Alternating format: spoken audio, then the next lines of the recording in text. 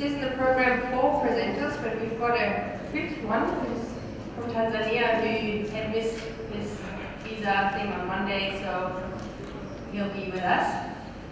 Um, there's a surprise guest. But otherwise we have until 10.30, so plenty of time. My name is Elizabeth von Rich. I'm from Germany. I work um, as a freelancer for the Sustainable Sanitation Alliance. And um, I might as well make a plug here for my big passion, which is the SuSanA Discussion Forum, an online discussion forum with 4,500 members. And any of you is very welcome to join it, to use it. If you have any discussions that come out of today which you want to continue outside past this room, then I welcome you to use the forum and also for the presenters, they can put their presentation up there and we can take it to a much wider audience than just these hundred or so people who are in this room. So the first presenter is Jenna Senecal. She's a PhD student from the Swedish University of Agricultural Science originally from Canada, I found out. Background is in bioresource engineering, focusing on converting waste. And she, she's um, specializing in the design of waste management systems that optimize pathogen removal and enhance nutrient removal. Okay, we've got 12 minutes.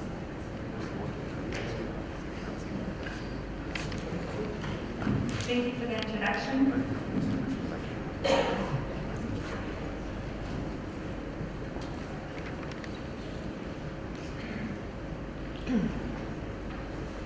So we know that there's 7 billion of us defecating every single day, and that unfortunately there's 1.2 billion people still defecating in the open. But what really disappoints me is that there's still actually 4.1 billion people who don't have access to post-treatment after defecating. We've learned a lot over the last two days as to how this is impacting uh, children, the spread of disease, and also impacting the environment. As much as this is a problem, I also like to see this as an opportunity to rethink how we handle our waste. The, our excreta contains the same nutrients that are being used by plant fertilizer. So if we efficiently recycle our waste back into our agricultural system, not only can we decrease our dependency on synthetic fertilizer, but we can also increase our or improve our soil structure with the organic content. A very great concept, but obviously not being used for several reasons. A lot of challenges have been highlighted.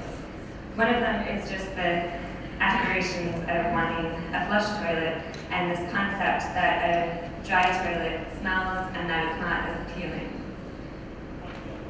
Another issue is the concept of using our own excreta as a fertilizer food. There's a natural uh, disgust to excreta, and why would we want to then eat food that was grown with it? A really big challenge, though, is just the sheer mass of excreta that you have to handle, and that's why I'm here today. For my master's study, I was growing vegetables with urine to actually verify how well urine works as a fertilizer. And though I was able to demonstrate that there's no significant difference in the mass of production between urine fertilizer and synthetic fertilizer, the amount of work that it took to collect all this urine and then carry it to my plot and apply it, inevitably I spilled it all over myself.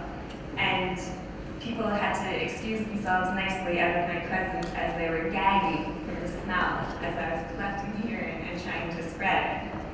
So after my master's studies, I was like, no way is this ever going to actually be accepted worldwide, and this doesn't make sense.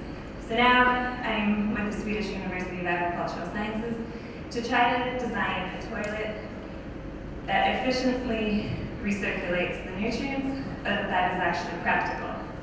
So the objective for my toilet is that it's an in-situ treatment where the waste is actually minimized on-site within the toilet, and that the final output are a dry fertilizer from the urine that has a commercial value, and a hygienic soil amendment.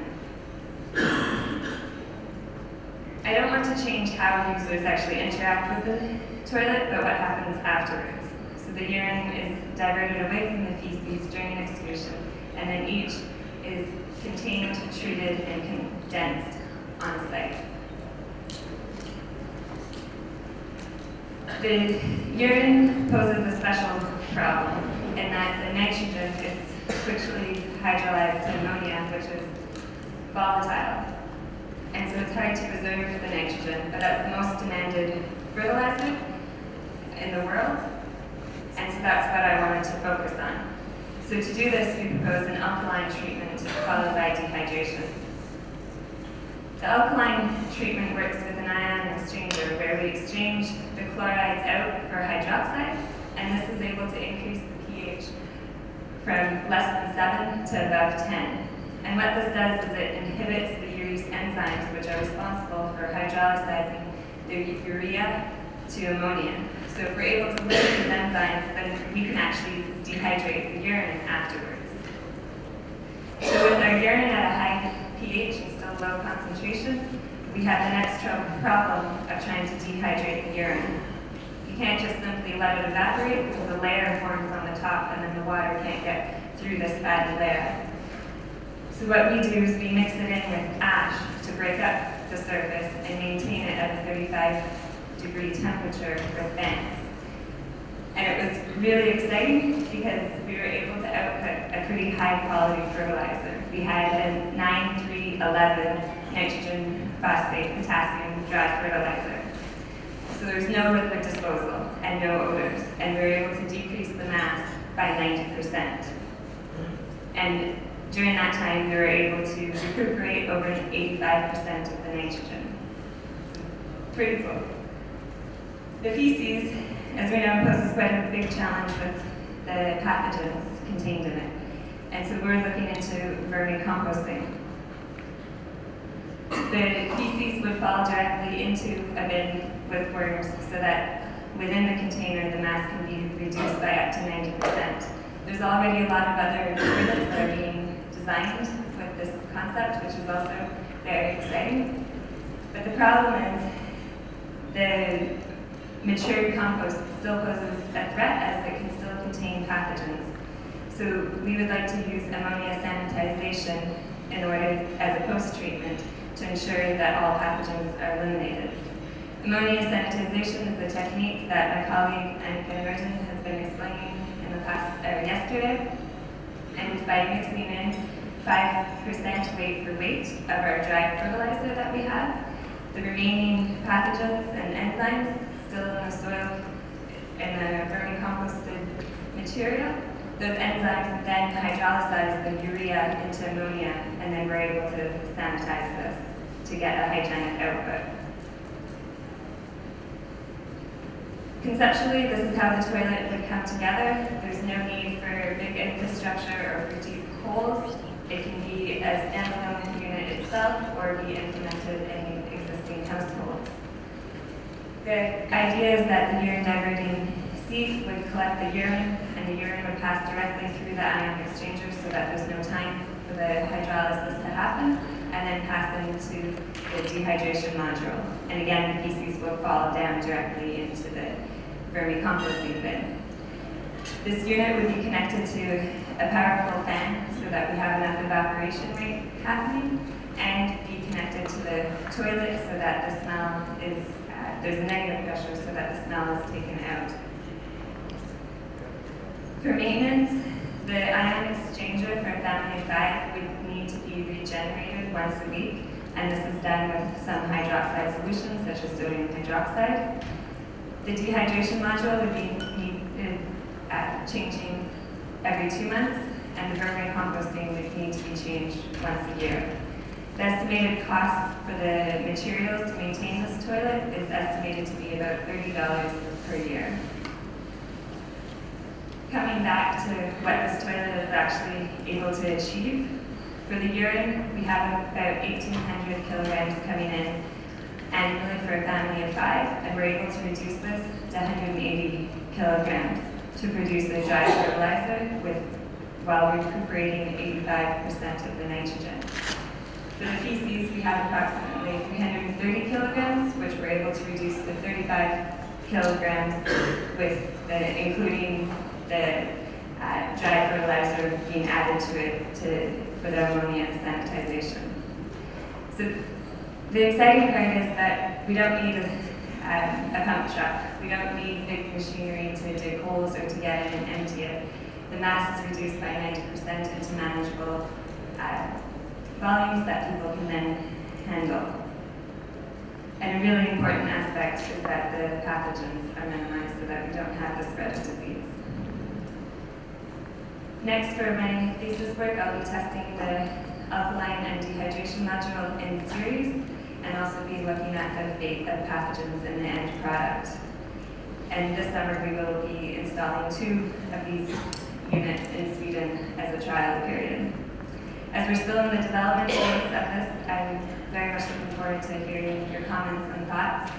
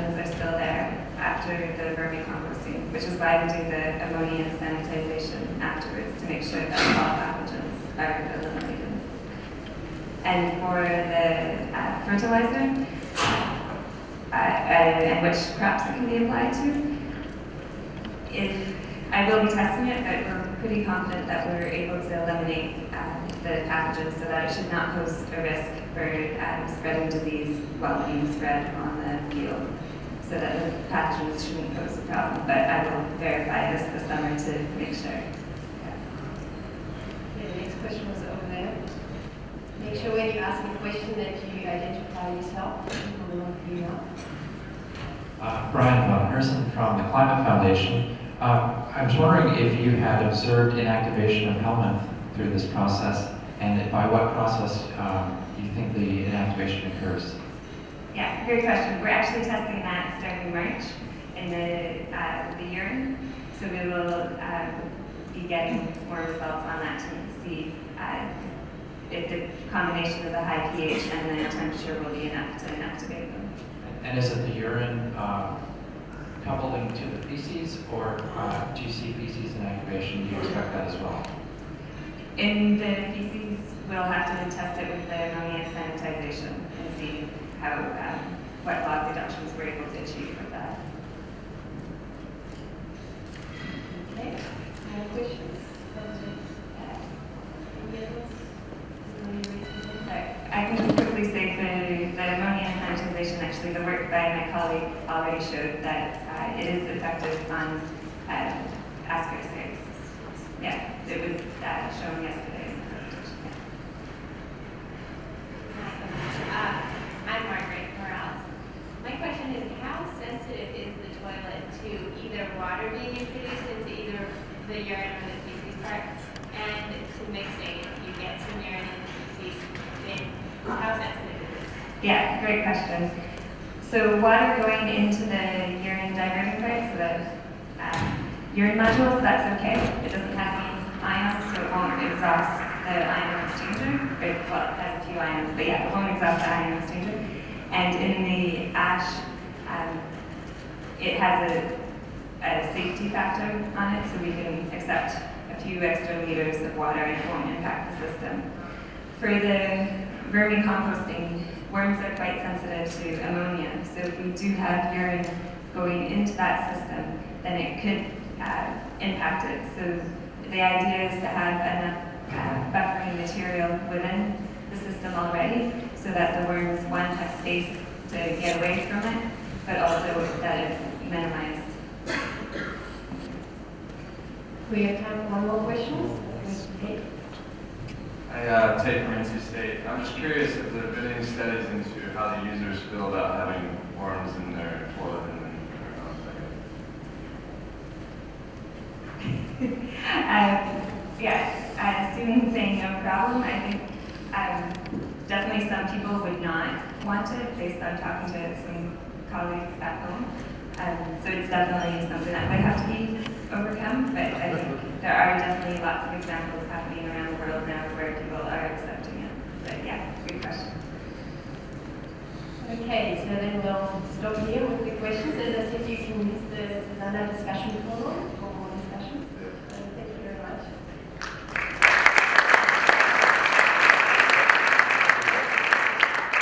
So our next speaker is Steve Sugden. Uh, Steve's been around in the sanitation field for a long time, but I'm sure many of you know. What I didn't know, and what we found out now, is that he's actually the public health inspector Trong đợt lúc nào hỏi đáp thì em Which sẽ means cận he's a nhanh trả qualified lời và cận nhanh inspector, nhất. Uh, having worked in uh, poultry slaughterhouses in the past, long time ago. Uh, these days he works for Water for People, he's based in the UK, but uh, will be traveling all over the place. For example, to Uganda. Um, he supports PSI and um, various activities for sanitation as a business.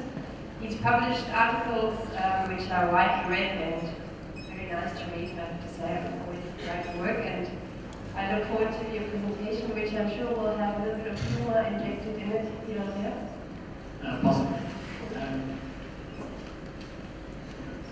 yeah, this this paper came around when it was travelling around the world, talking to people about their toilets and looking down and, um, realising that we're missing quite a lot out on the design process. So it all started off, beauty is in the eye of the beholder. So look at these, which is the most beautiful to you? We've all got opinions. Is it the Taj Mahal, Taj Cottage, the Shard? Is it the fat girl or girl? I'm not really from come to. Is it the fast Maserati or the electric car? The fashion uh, from times past, the fashion of now. Beauty changes what we consider to be beauty. What is beautiful to you there in that latrine? So if beauty is in the height of, of behold, just simply go into the question, what is a beautiful tree? And I've heard lots of opinions this time that ecological latrines, biodigesters, concrete slabs, VIP latrines, these are all views driven by what we think the poor people should have. They're not really driven by what the customers want. And this comes from the, the PSI survey, uh, which shows how people do think about their toilets, and that's how you think about your toilet. In a toilet, we feel comfortable to sit, we get peace. If the toilet is dirty, then people would like to come out soon. They have to hurry their business. When it stinks, we have to force ourselves to be there to complete our business. Peace is not there. Now, if we're going to switch, from the subsidised process where we give free, uh, uh, free things away, people will accept those. But if they have to buy them, you're going to have to be selling desirable, beautiful treats. Toilets are emotional places, they're not just physical structures. Um, and as a sweeping generalization, generalization, engineers are not comfortable with emotions. So I just like to, I got the dictionary definition out to help the engineers amongst you all. Uh, it's the way we feel. Um, uh, the state of our mind, the uncertainty, our mood, our relationships. These are all emotions. So I didn't know about emotions either. Um, so I read a book. Uh, the design student recommended to me, which was the classic book apparently on uh, design. Uh, it's emotional design, why we love or hate everyday things. And in this book, it, it explains that we actually operate on three different levels in our decision making. The reflective decision, the reflective level, the behavioural level, and the visual level. And actually these are all interconnected, so they can influence each other. So at the basic level, this is the visual level. Uh, this is hardwired into all of us. It's the I'm being attacked, I have to run away. You don't have time to think about this one, you run. It goes back apparently to, to the days when uh, if you didn't run quick enough or fast enough, you were eaten. So it, it goes across all the cultures. It isn't just, oh, it doesn't work like that in Africa. Very much to sight, sound, touch and smell. It's often irrational. So the sort of things that create this visceral reaction are things like rats. And we all think things like this is going to happen. Completely irrational. Being scared of heights is very common. Everybody who's not scared of heights, die. If you are scared of heights, it's a built-in protection. Then we get more into this sort of.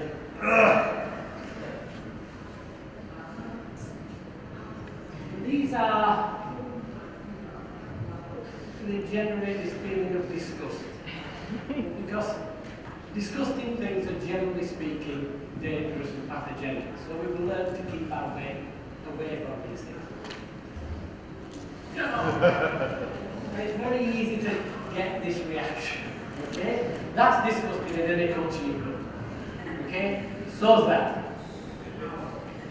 So's that. Okay? And when you go into a toilet and you see shit lying outside the hole, that's disgusting. No culture in the world would think that's a nice thing to see. So when we're looking at visual design, what do we have to consider as the latrine design? First of all, the, the, the, the smell of the shit, the sight of the shit, the hint of the shit. Okay? These are all things that have this negative visual reaction. Flies, insects, rats, deep roomy pits, um, dark, miserable compartments. These are all things that we're naturally uh, responsive and opposed to, to, to, to, to these sorts of stimulation. So what does that mean we have to do? No smell. Uh, in Africa, they often refer that to, if you take the top off, a wuss come out from the latrine and they call that the heat. So the heat is often very much associated with disease as well. Uh, no sight, uh, light, bright areas, uh, no insects, flies, cockroaches, no deep moving pits that you're going to fall down. Particularly when your brother's told you the big monster lives down the pit. Uh, don't go in there if it's all dark. I mean, would you use a latrine in those circumstances? Uh, no bouncing floors, because you might fall through. Um, missing the squat hole is also very common. So you've got to be able to find your way there quite easily and well ventilated. These are the fundamental things that we really need to be designing. And what do we do? Concrete slabs. Hey, brilliant. That's our solution. Concrete slabs remove none of those visual reactions. They are designed, when I first started doing this, the question, are the design because they're easy to clean and we won't get a scaries on the, on the concrete slabs. That's why we do concrete slabs. Not the householder's objective, our objective. Then we get on to behavioural design. This is where we feel more comfortable as engineers. Okay? It's all about functional aspects, it's all about use. Uh, appearance doesn't really matter, it's a very rational process. It's the it's actually uh, how they describe it, it's like driving a car. You, sometimes you're driving a car, you can go 10 kilometers and how do I get there? You, it's almost instinctive.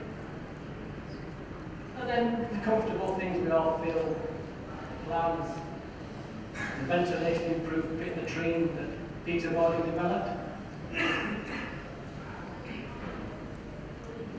Technically inventive. We're going to get rid of the flies, we're going to fly the, we're going to the vent pipe, we're going to remove the smell. People are negotiating it. What he didn't think about was that to make it work, it had to have a really dark compartment. And if you look at all the VIP things, the first thing people do is make them light.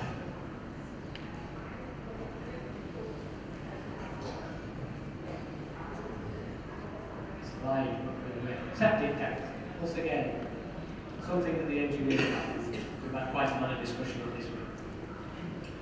So when you look at these behavioural considerations, these two seem to be cross-cultural. They don't seem to vary too much from South America into India and Africa. Solid walls, we need a good roof. Strong floor which doesn't collapse. Door with locks, preferably both sides. Squatters and sitters, the normal sort of things we go through, washers and wipers, you have to take those into consideration. Well-lit places, so people can see where they're going.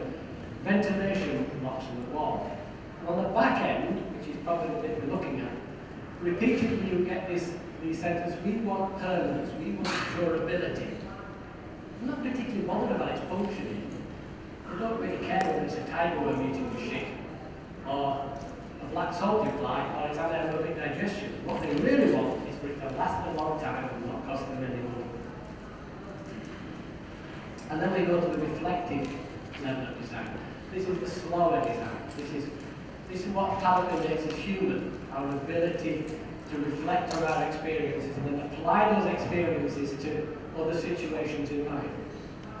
Um, and this is where the self-image comes in. This is where um, the social norms. Wouldn't do right if I open defecated and everybody else was using the toilet.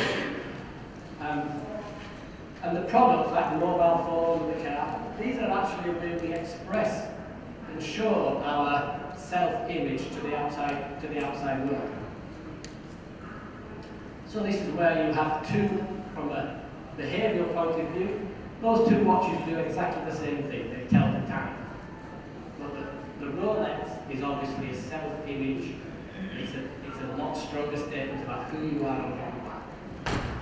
And as, as a result, in the marketing process, the Rolex probably costs about 20 or 30 times more than the Casio. That's why you get Federer advertising Rolex and not Casio. Casio's big strong message, Casio, now available. Yeah. That's going to make me rush out. Cars the same.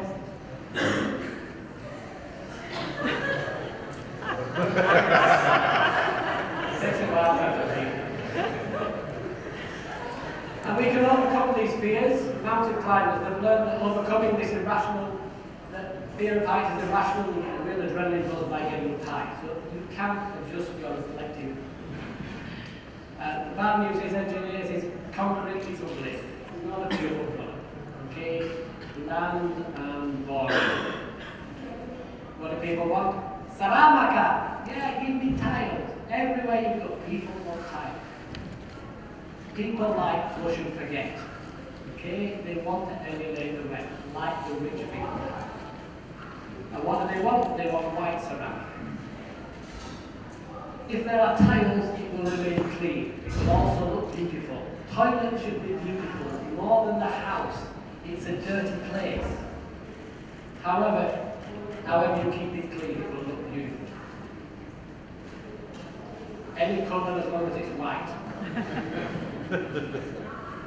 Septic tank is best, and this came out in, in India particularly. You'd say, what, what's the best form of backup septic tank? Why? It's most expensive. Why? It's the best. Okay, how does it work? We don't know. it's square. Why is it square? Oh, we don't know. So there's this high perception that septic tanks are the best and the most expensive. But actually people have no idea how they work. Which is a great opportunity for a. So the argument is that we have to design to the behavior, we have to, we've to the behavior level, and we're ignoring the visceral and the reflective levels in our design processes. The solution, design to all three levels. And if you have a doubt, ask your why. Okay? If you are in touch, understand these things. Uh, we've got the missing pleasurable at the top. Uh, just a few examples of how we promote toilets in the West. Uh, in, in the West, we have Andrex with enriched with aloe vera toilet paper. So obviously, you need aloe vera to spread all over your ass for some reason. Promoting lifestyle, promoting self-image. This, I came across this advert, and what's that for? I have to look twice. It's actually an advert for a toilet. Reflection, peace, tranquility. Um, okay, we show the products. So the only products that we seem to have at the moment that seem to be going really well are things like the flatter, which meets the visual design level, and the Duracell, which we're now promoting in Uganda, and septic tanks, modular septic tanks, local septic tanks that we're developing in India.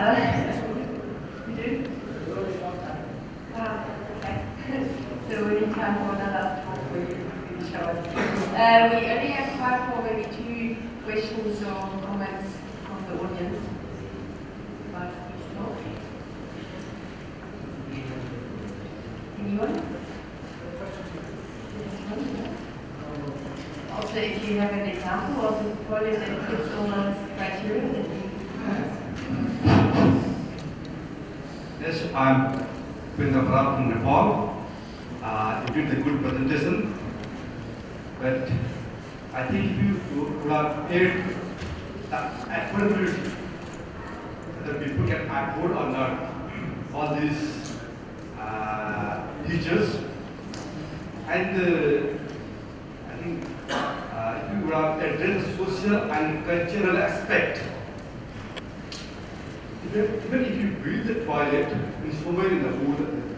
their own cultural aspects.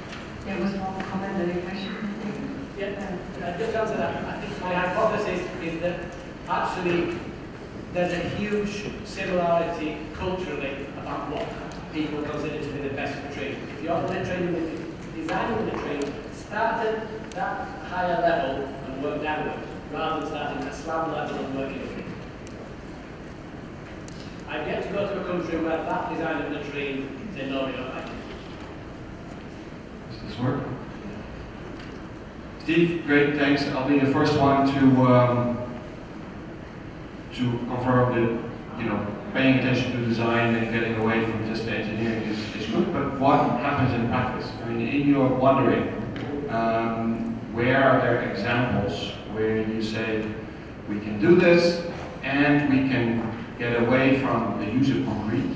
Um, it's widely in use for a reason. Um, we can get away from having to custom build every toilet. We can get away from um, the kind of design that meets needs of people without being really expensive. I mean, this is this is great at a at a philosophical level. How does it work at a practical level? Where have you seen things, and what can you tell us about how you actually make this happen within the constraints of the communities in which we work? Uh, yeah. So it goes on this idea that on willingness to pay and um, the ability to pay is somehow fixed and that the Casio is always worth as much as the Rolex. I think what happens in practice is that willingness to pay is dynamic.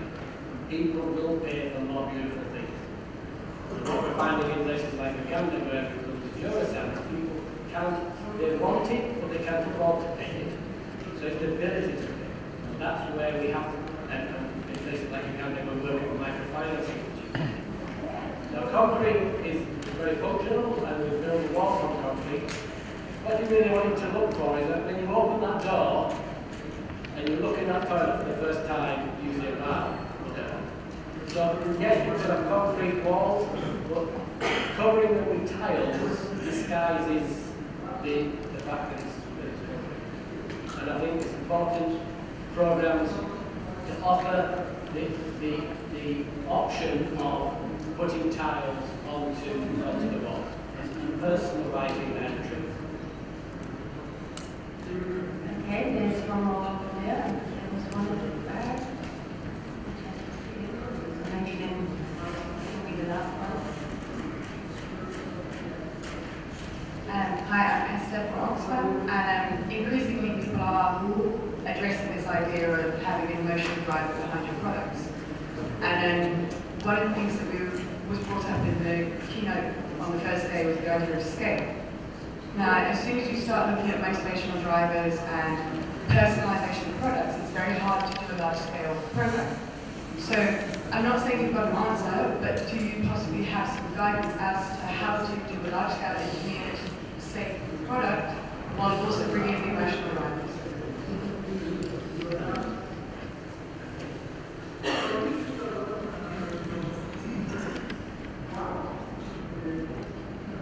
This is uh, one right at the end. And that would be our solution to that. And it, it is complicated, it's, it's tied up with supply chains, bad names in supply chains. But um, this one is, I think, we've got centralized manufacturing of the components of that. Okay, it's concrete. Uh, centralized manufacture of the components where people can buy in, I want a better door, you can buy a better door, you can tiles, you can buy better tiles. This thing we call the, the, the Durasam, in Uganda we can build in two days. And you allows for that personalization. So I think it's not easy, but sanitation isn't easy. What I'm trying to do is raise the bar and get away from concrete slabs. Let's get to this next level. Let's solve these supply chain problems. The idea is that once you've got a nice toilet, you, that's it. You don't want another one. Problem solved from that, from that particular matter. The answer will come back a few years and say, I'm not happy with this. But yeah, I think, good point. Okay, um, okay, is that a short question? Yeah. Okay, short, burning question. Ian. Such an interesting topic. Don't forget to introduce Thank you. Steve. And uh, so just I want to make a comment that not all engineers are bad, right? And maybe whatever uh, model a toilet or the septic tank design, still we engineers are involved in the of road for this, uh, and also tank design. So, can't. There are engineers as well as well, so are involved. Not all engineers are bad, right? Okay, thank you. Then we have a little round of applause.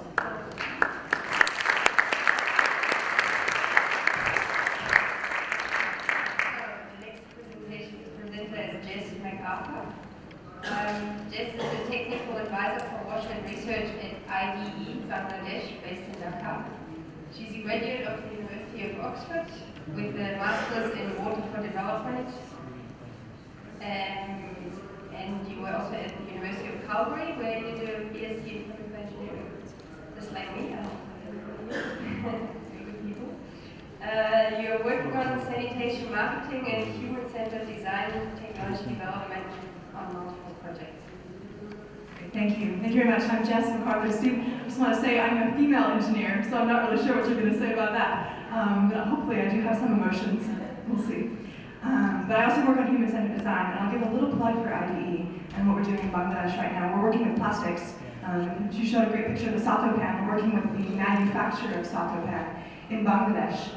And um, we're helping them to, to move that to a larger scale, to bring that product to, to Africa and to other parts of the world. But then also helping them to figure out what's the next step.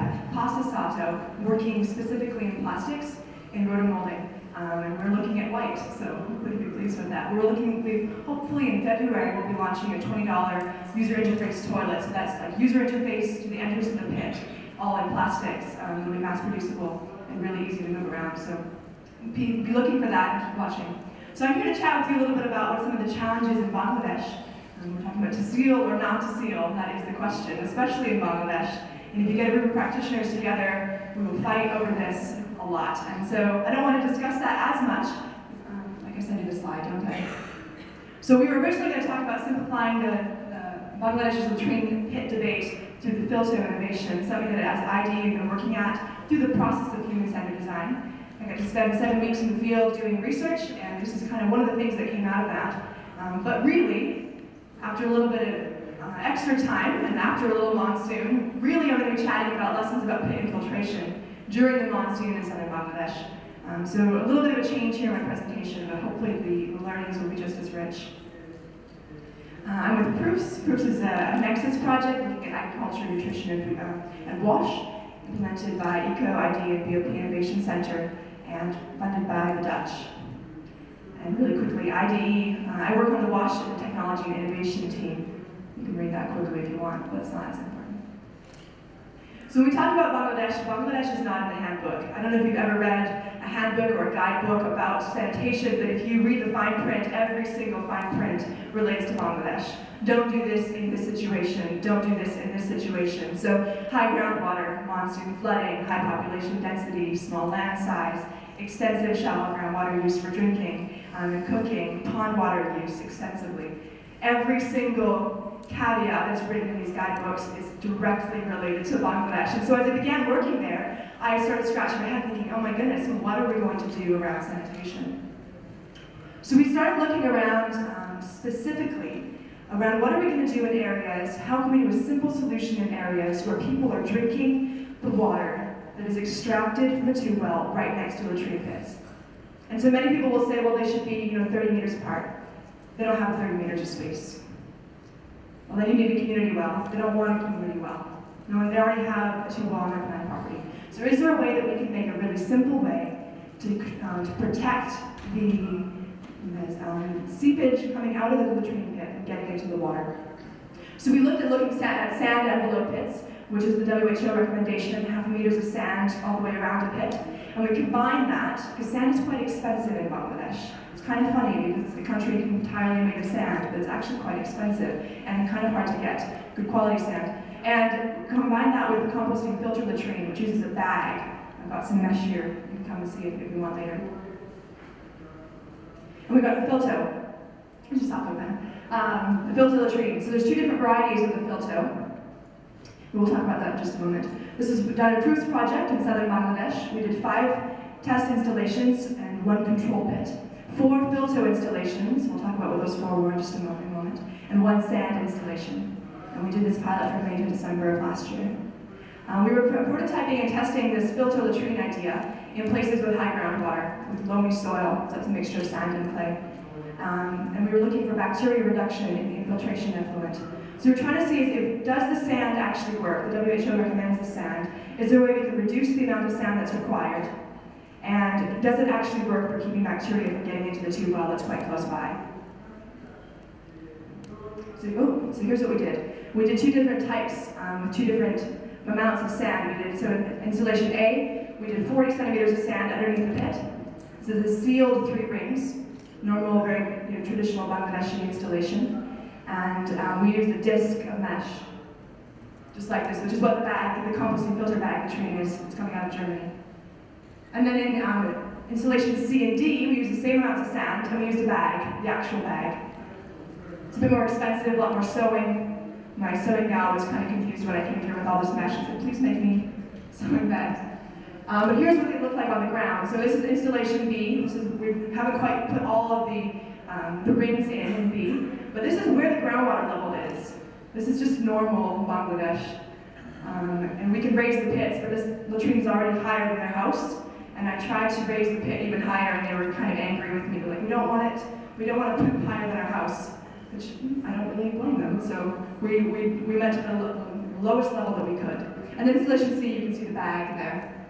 So what happened? This is what it looked like when we finalized them. You can see on the bottom there, the, there's a little plastic baggie over a stick. That's our sampling probe. So we have a sampling probe that goes underneath the sand or pulling off liquid effluent to see what the what was coming out of the pits. And here's there's the water. Like I said, not in the handbook. This is where the water is in location of the latrines. This is pretty normal. Um, this is my team and the guy who dug the pit and the, fa- the family who will be using the toilet. This is before we got the tin on. This is what happened. We tested the water that was in the pits when we started and there was contamination. And if you look in installations A, B, C, and D, right through the beginning of the monsoon, we actually had complete removal of bacteria at the bottom of the sand layer. We weren't getting any bacteria coming out. Um, the joke at the DPHE, or the testing facility we were using, we were using a governmental testing facility, they were asking us where our well was, because they thought it was really good drinking water, which kind of made me laugh. Didn't tell them where it was actually from. Um, we so we were pulling the samples up, and they were coming out with zero bacteria count, and I was like, wow, this is actually working quite well. And in the sand installation, you could see the bacteria on the y-axis. We got, you know, some, some count there. And the control pit again. So we were okay, great. So it doesn't really matter if you use the bag or the disc. They both seem to be working reasonably well. And you need the, you need the mesh though. The mesh does help significantly. It helps dewater. It helps keep the water out and the solids in. Um, but it's definitely working better than the control. This is just a summarization of that. And then we had the monsoon. And through the monsoon, it was working really well. And we could get there due to flooding. We, we sent our guys out to, to take the samples. And then after the monsoon ended, we went back and sampled again. And this is where things get a little, gets a little more complicated. We saw a massive spike in installations in B and D. Now, I, this is probably very, very bad from a technical perspective, but I couldn't do uncountable on the y-axis, so I just made it a 1,000. We can talk about my, my methodology, my process in that if you want to at a later time. But, so B and C had this massive spike. I was like, oh my goodness, what's happening? Because the control pit went down to zero bacteria count. Well, that doesn't work. So I was like, all right, go guys, go back out and sample again. And I went with them to make sure they were sampling correctly. And then we couldn't get any liquid from pits B and D. And we had a spike in A and C. Was like, okay, what is happening? What do we think is going on? And at the same time, our sand spiked to uncountable amounts of bacteria, and our sand or our control remained at zero.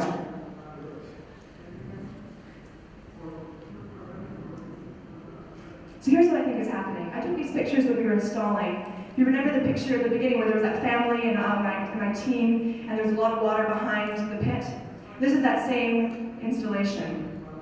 And we actually were using an existing latrine pit. We pulled up all uh, the sludge and we dug it out and completely started from scratch as we were putting the new pit in.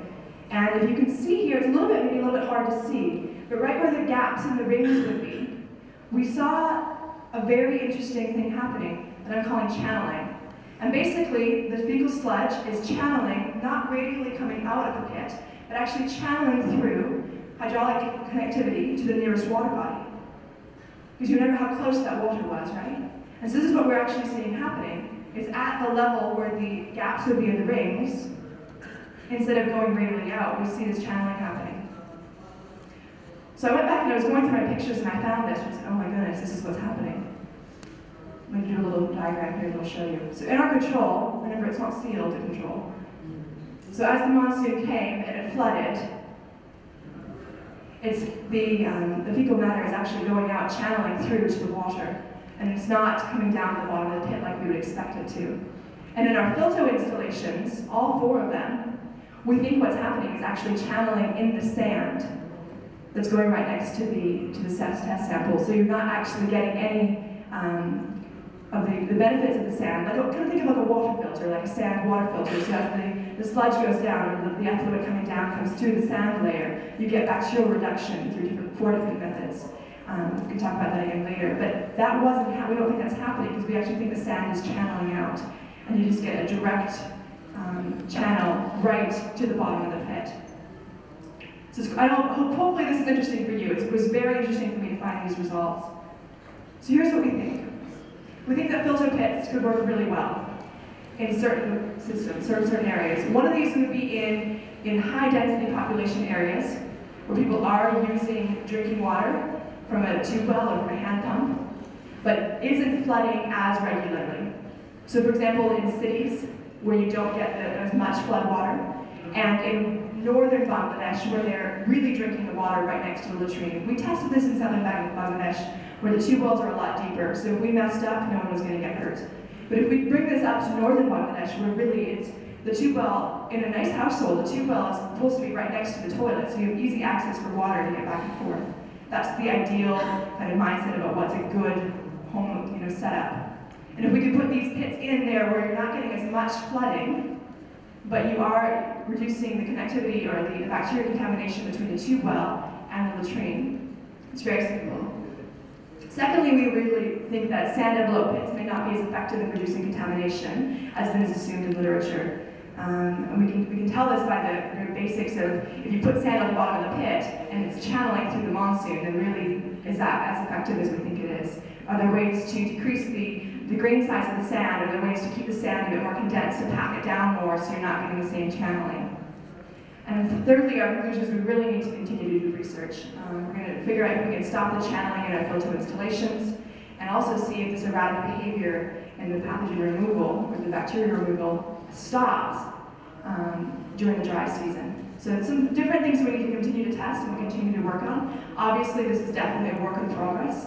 We haven't you know, sealed this, if you will, and we don't know exactly what we're going to do. But I will just, because I think we have a little bit of extra time, I'll show you the, the mesh really quickly. It's just fingerling mesh. I don't know if any of you guys work in agricultural projects or in agricultural projects. It's just, you know, fishing mesh, and there's three layers here. Um, we sew them together. You don't necessarily have to sew them together, you just put them at the bottom. And um, use, we use brick chips instead of um, gravel, because it's really hard to get gravel in Bangladesh. It's very difficult. So just a layer of sand, a layer of gravel or brick chips, and then some of this mesh. And it seems to be working in really in a very simple way and reducing the amount of sand quite you know, substantially. So love to take your questions. Um, thank you very much.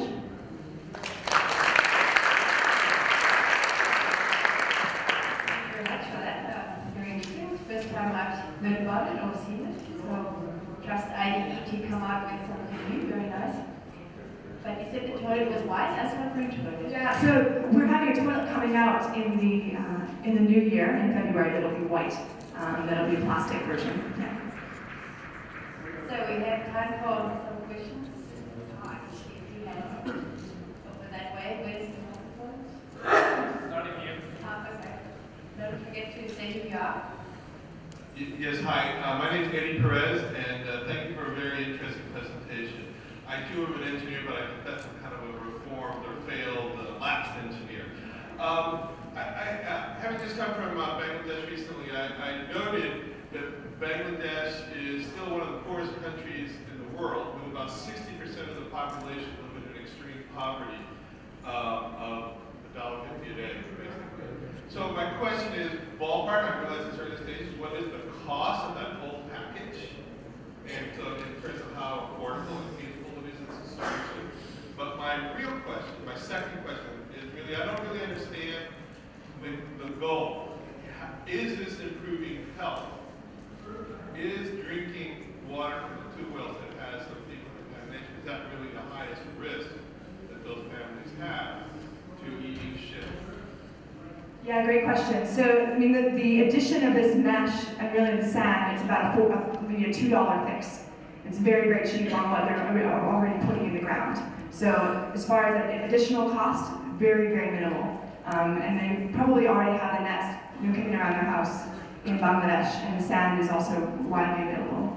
Um, great question about the what the point is. Yeah. So in in areas of Bangladesh that I'm working, when we can discuss what the best benefit is, what the most benefit is, and we can go into you know, the stats on that. But we're trying to protect on multiple different levels. We're doing a tube well project where we're, we're we've developed a low-cost tube well platform for about one-fifth of the cost of normal platforms. It's about a you know, $6 platform that they can put into their house really, really, really cost-effectively and, and very simply. So we're trying to protect the tube well from that perspective, but then also protecting what they're pulling from the ground. ground.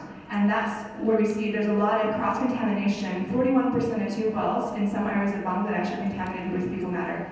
And so if you think about people actually drinking their own, literally their own poop, because they're taking water from very close to the latrine. And so we're trying to find a way to, decrease that cross-contamination between the two well water and the latrine. Does that answer your question? Hello, this is Jagdish from India. My question is what provisions have been made to have the toilet user-friendly? First thing, second is uh, the accessibility for users. And is there any provision of uh, providing some lights to use the toilets in late evening or early in the morning? People can there.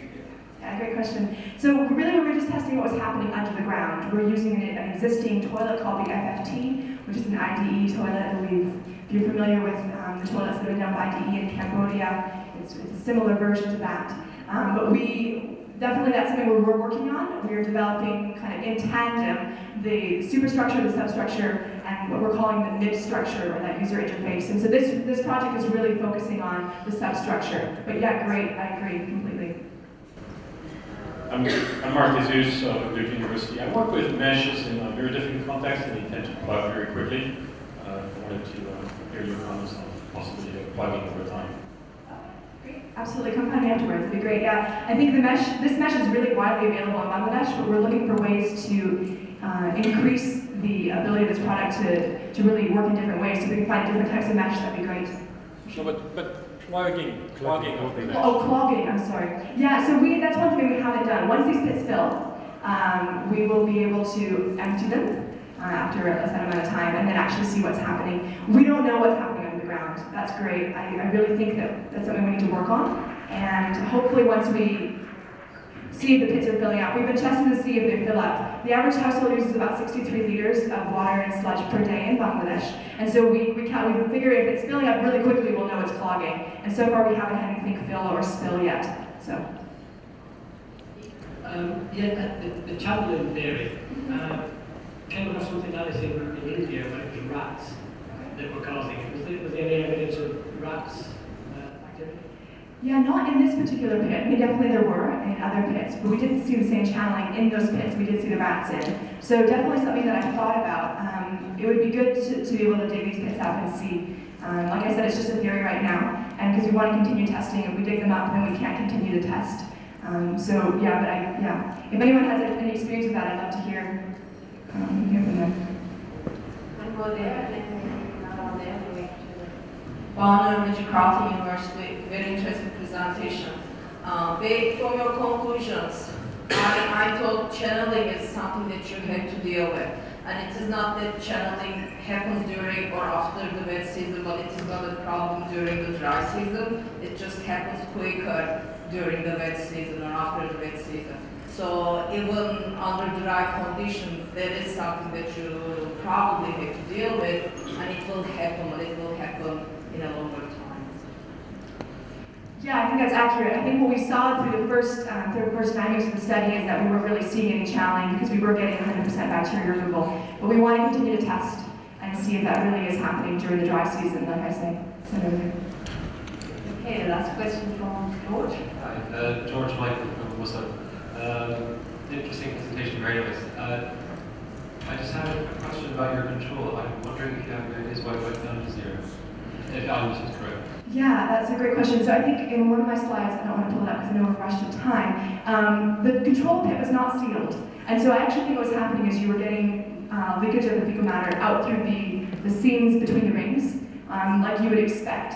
And so my other thought is that perhaps it was being, you know, solution to pollution is dilution. So as the monsoon came in, it was like it actually removed a lot of the, the matter from the bottom of the pit, and then there might have been a layer, you know, a harder layer, impermeable layer of sludge formed, and then you're getting spillage through the gaps. That's my only theory right now, but if you have any other ideas, I'd love to hear them. Okay, well, thank you very much. It was really interesting topic, and thanks for all your questions. Um, another round of applause.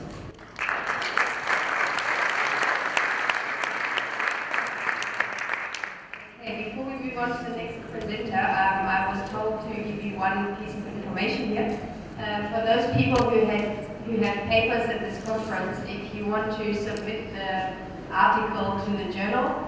Uh, it's called the IWA Wash Development Journal. Then you're supposed to send send it in before the end of the conference. I was told to the conference organizers. Or there's an email address probably on the website. Um, so don't forget to do that. Then the next presenter is Jing Ling. Jing is from China. Um, he, his company is called Beijing Sunny Breeze Technology. Um, his background is in the nuclear waste disposal. He said it's basically the same thing as sludge waste. um, he's been, um, he was a visiting scholar at New York University for five years, and um, he's, he's also an engineer, an elect, uh, electrical engineer, and he's got a PhD in geoscience. So, um.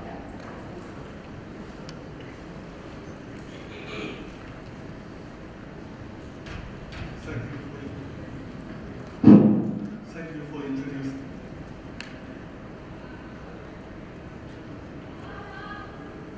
Our engineer team from the nuclear waste disposal field. So when we face the reinventing quality program, the challenge in our mind, in our like the professional views, the key should be evaluation. The first should, should be is remove liquid portion from the human waste by the means of evaporation.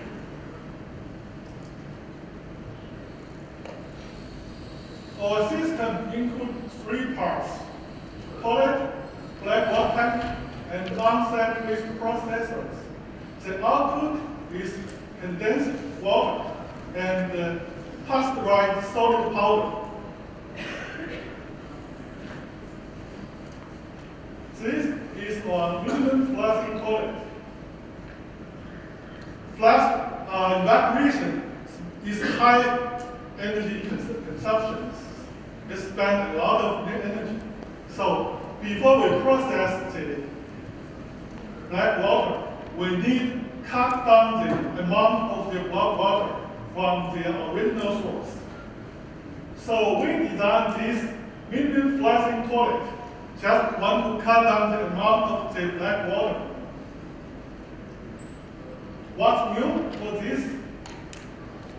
Here include two pumps. One is microwave pump, and the second is car washing pump.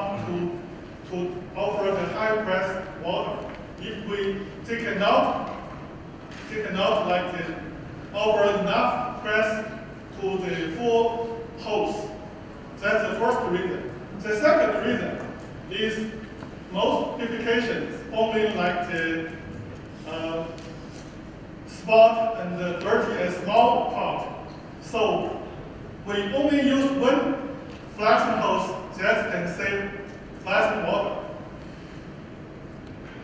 Uh, the second part is black wall tank. Why we need black wall tank? Because in the rainy days, black wall storage is much easier and uh, reliable than use the electricity to store uh, solar to store solar electricity. Now the hard part, on-site human waste processors. There are many challenges for design on-site human waste processors, but I think the most challenge, most hard part is the first is energy. The first is energy imbalance. The second hard part is the system is really easy to in.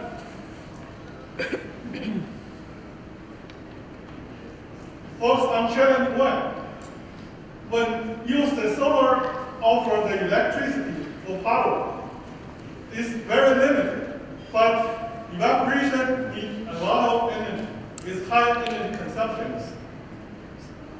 To balance the energy, the solution, first solution is we just minimum flushing quality, limited amount of the black water, but that's not enough because you cannot limit the P modification. So, the second idea is MVR evaporator. What is MVR evaporator? First, the common evaporation includes three parts, vapor, evaporator, and the heating source. The MVR, MVR means mechanical vapor recompression.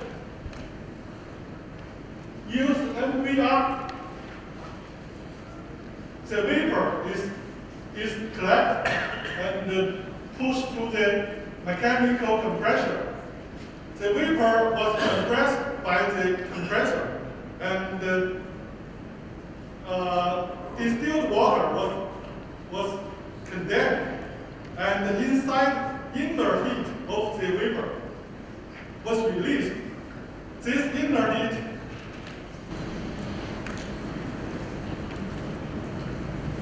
this inner heat used to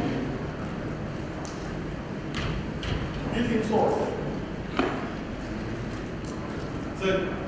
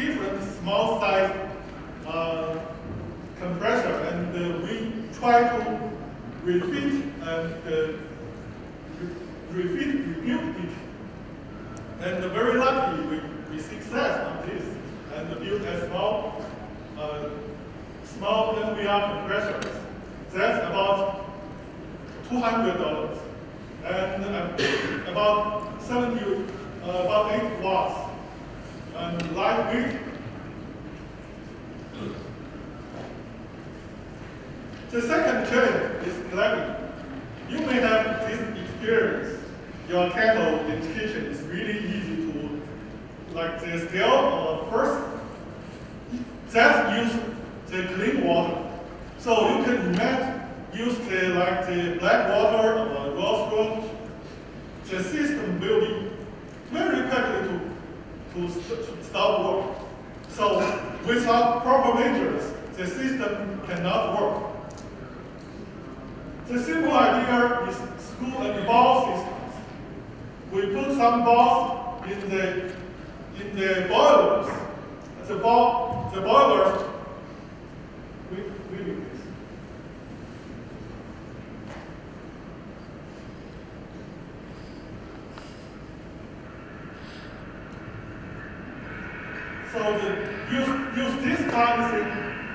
makes it, system self-clean.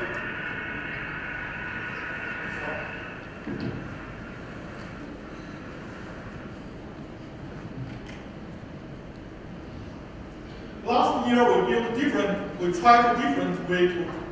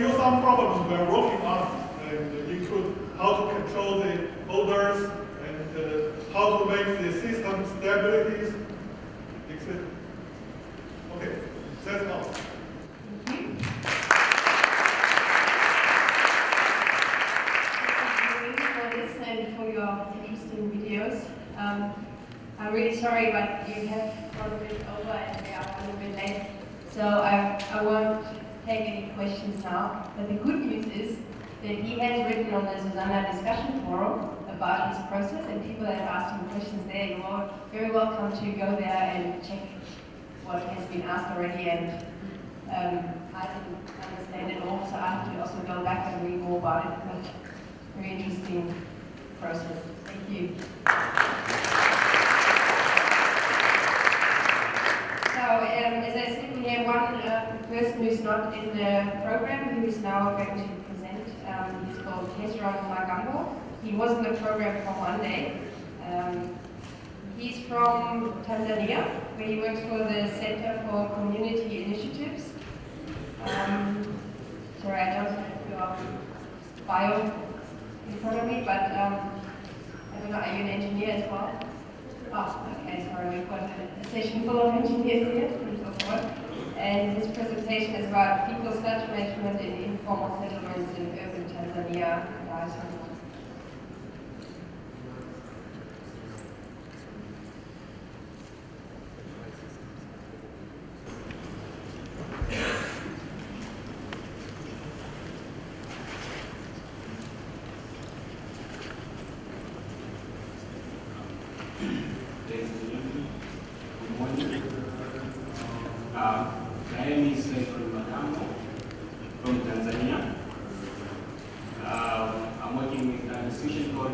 committee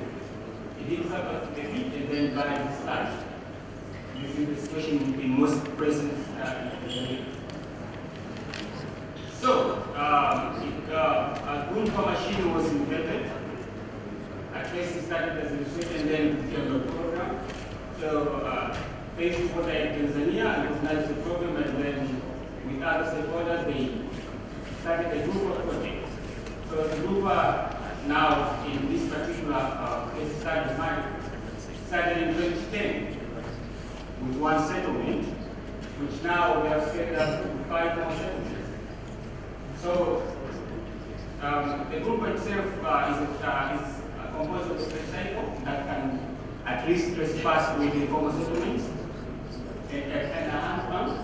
Um, a hand pump that is pumped manually and a container uh, of, around uh, 350, uh, 350 liters. So they, they came up uh, they, they come to your house, they pump your pieces, and then they transport it to the phones, which are, are a big distance, at least 20, 40 kilometers. So the challenge has been the distance covered, and with the logistics of es Salaam, it's uh, high populated, a lot of traffic jams. So uh, it was a challenge. The distance that was being covered by these group operators was huge. So people started thinking about having decentralized wastewater treatment systems. Um, so they said, okay, why shouldn't we have a decentralized wastewater treatment system to solve this challenge? It was designed by BORDA. So now they have a decentralized wastewater treatment system at site, which they can get biogas out of it, and then they can get manure, and then effluent of it can be used uh, to soil, uh, condition the soil. So the, the cost of PTMP is at least 15 to 24 USD uh, per 5 liters per tank, with that type of quality fit. One thing is 55 liters. So this depends on the toilet, the depth of the toilet. And but again, it allows for flexibility. For those who cannot afford, then they can negotiate.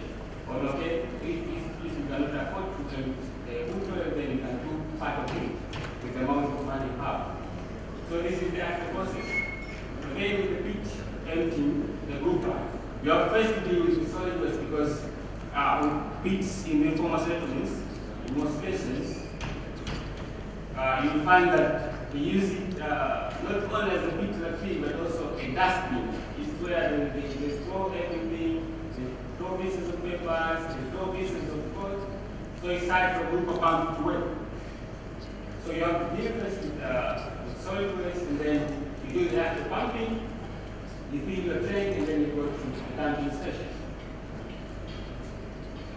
So, uh, tempting as an element of business, it has an element of business in it, and this is an example of an, uh, a monthly report from MAO that I collected from MAO.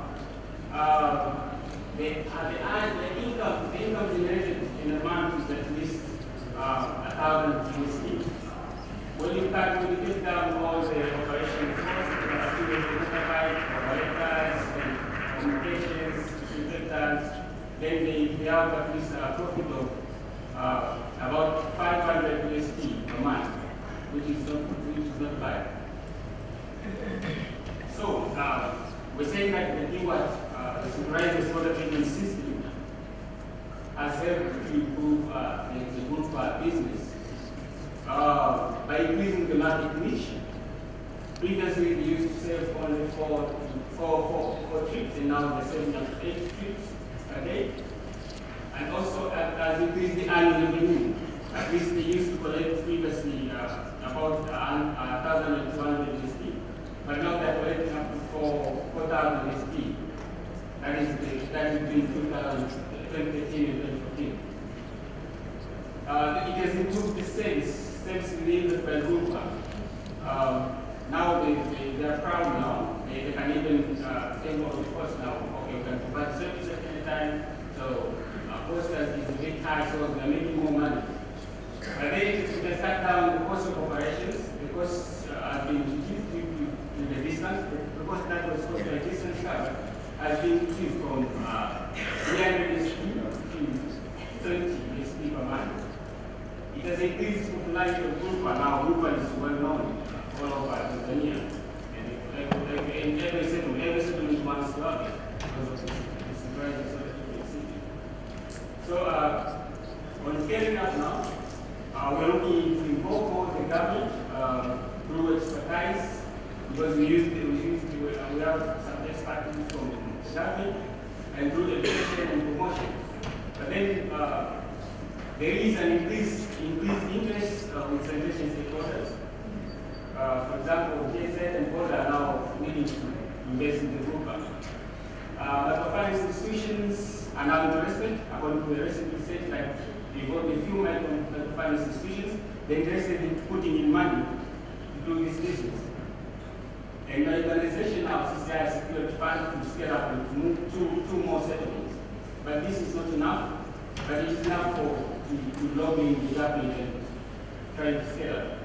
And then there is a need of high community mobilized. Yes, we say that uh, group uh, is a success story, but then we, we, we realize that we are doing that well, uh, not so much, it's not so much by the community because uh, it is like uh, one group driving everything. So we